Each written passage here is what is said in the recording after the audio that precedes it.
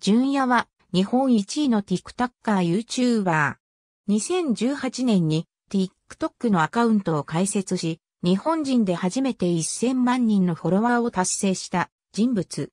2021年10月22日時点での TikTok フォロワー数が約4000万人で日本1位、世界17位。2020年9月に YouTube チャンネルを開設し、日本人最速の394日間で登録者数百0 0 0人達成した人物。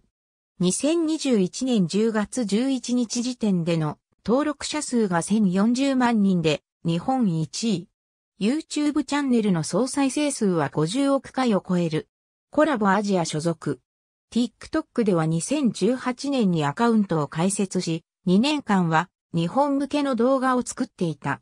この頃の人気だったシリーズは、隣の席の女の子シリーズや、純やダンスなどがある。しかし、2020年になってからアカウントの方向性を変え、体を張るチャレンジ動画などを始める。同年2月にフォロワー数百万人を突破し、7月には日本人初の1000万人を突破した。そして2021年10月4日現在も日本国内においてフォロワー数が約4000万人と1位である。世界全体では17位である。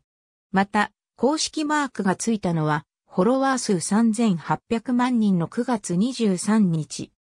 2020年8月、前から活動していた YouTube チャンネルに、純也レジェンドという名前で、自身の TikTok 動画を投稿し始めた。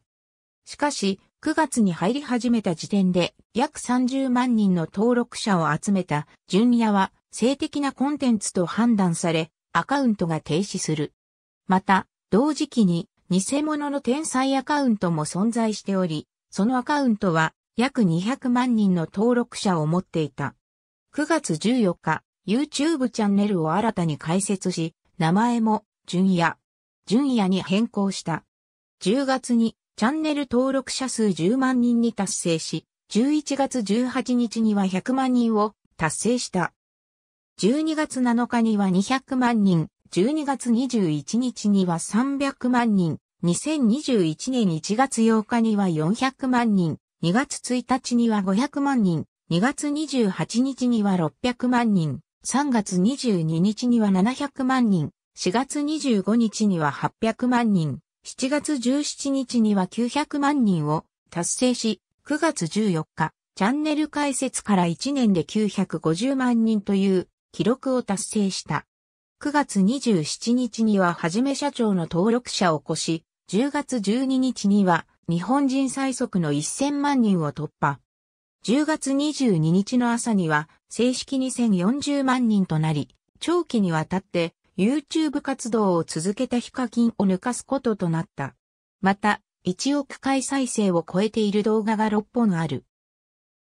2020年の YouTube 年間総再生数ランキングにて、チャンネル開設から約3ヶ月間で8億8810万再生を叩き出し、日本1位となった。その記録は、最新の2021年上半期総再生数ランキングでも出している。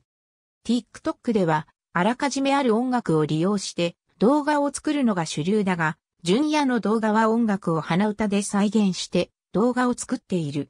また、コラボはほとんどしておらず、唯一コラボしたのは、佐川、佐川である。他には、純也がいいねする動画は、ほとんどがセクシーなもので、ファンの間では話題になっている。ありがとうございます。